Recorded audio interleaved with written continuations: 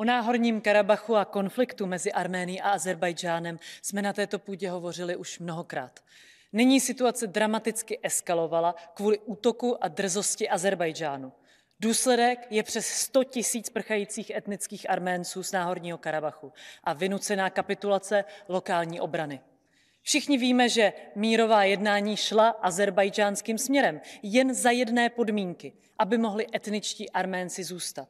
Jak si tedy máme vykládat tenhle útok a porušení všech dohod? Jen jedno vysvětlení. Alijev se snaží o etnickou čistku Arménců v Náhorním Karabachu.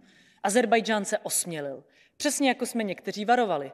Evropská unie začala od diktátora Alijeva dovážet ropu a plyn, protože co by se mohlo pokazit, když nahradíte závislost na jednom diktátorovi jiným? Tím si EU svázala ruce. Ale ne všichni tomu jenom hodláme přihlížet.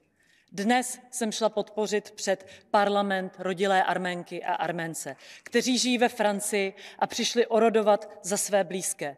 Nechápou, jak můžeme dál provozovat tuhle pokryteckou zahraniční politiku. Jak můžeme jednu zemi bránit před útoky a druhou nechávat na pospas? Já tu tedy za ty protestující venku i všechny prchající obyvatele Náhorního Karabachu oroduji.